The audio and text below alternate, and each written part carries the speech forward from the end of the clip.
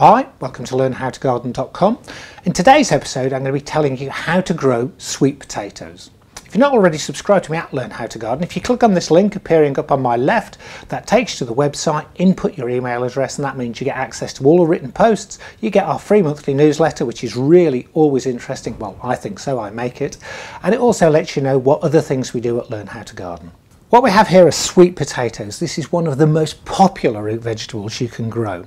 And it can be a bit tricky because it doesn't grow from seed particularly easily. I've never seen sweet potato seed. And it actually doesn't grow from tubers either. What it grows from are slips. And what slips are, they are long growths that normally come out of the end of the sweet potato. And you can buy sweet potato slips, but they're really easy to produce if you follow one or two simple rules. You can buy name varieties of sweet potatoes or you could get some organic sweet potatoes from your local supermarket. And the first thing you need to do is to cut these in half. And they need a temperature of between 20 and 26 degrees to grow really well, which is why for those people in the UK, they can be a bit of a problem. And they also that need that temperature to start their slips growing.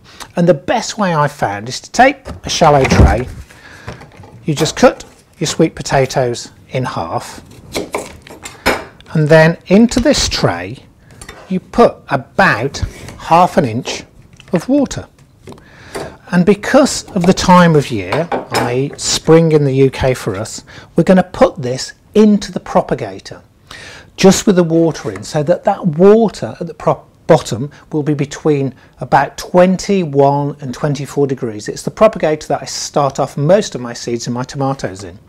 And we simply put the water in the bottom of here, we put this in the propagator and what will happen in the next two to three weeks, we'll get long slips growing off the top of here. Once they're about two to three inches long, we're going to remove those. There may be some roots on the bottom of the potatoes. If you can, you can take some of those with it. And we'll pot those slips on into a mixture of 50% vermiculite and 50% potting compost. And then we grow those on. And I've always found that in the UK, the only way to grow them successfully is either in a very large pot in your greenhouse. They grow fantastically in really well prepared soil in a polytunnel. And by prepared, I mean you want to have 30% sand mixed in to soil that is already very rich. Or the other way we've grown them is in a hotbed, that old Victorian method that you've seen at Learn How to Garden of creating a hotbed. And what we then do is we top the hotbed off with eight inches to a foot again of prepared compost, really rich compost out of our compost heap and 30 to 35% sand.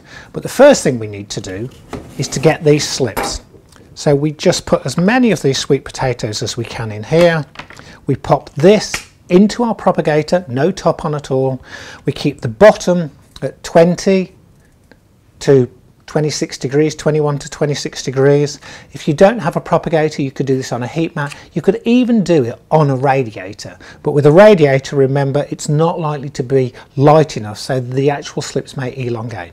And that is simply how you produce sweet potato slips. In about a month, I'll be showing you how to take these and pot them on, and about a month after that, we'll be planting them out into our hotbed here at Learn How to Garden.